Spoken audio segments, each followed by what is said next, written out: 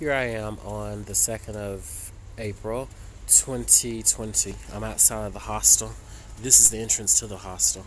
I'm outside of the hostel and um, this is a suspicious truck.